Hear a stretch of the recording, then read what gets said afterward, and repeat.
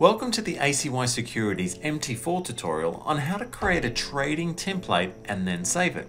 This will allow you to open any chart and apply your template within seconds. You'll notice I have a template on my chart already. To access your default templates within MT4, just right click anywhere on the chart and then hover over the template selection here.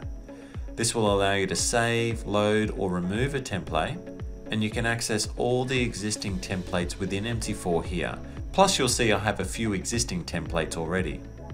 If I were to left click on the 5, 20, 50 SMA stock and ATR, it'll apply that over my chart. So let's go ahead and create our own template.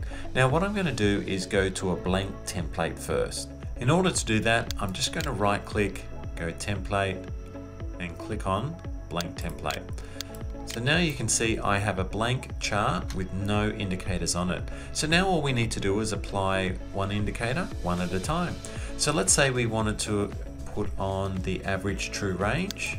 We can left click and drag it onto the chart and release change the time frame as you see fit and you've got all the color selections and line selections as well and you can increase the thickness of the line as well. Click on OK and that pops down the bottom here. So we can see the average true range of the euro dollar across the daily time frame. Now if we wanted to apply another oscillator, you might like to apply the relative strength index. Left click and drag it over the top you can change the period. The default period is 14. We can change it to 10. Click on OK if you're happy with that color scheme. And you'll see both the ATR and RSI are now applied. Now let's say we wanted to apply a moving average.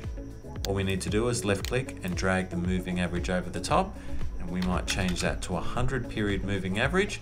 We'll leave that as maroon and then we'll go and click on OK and that'll apply over our chart.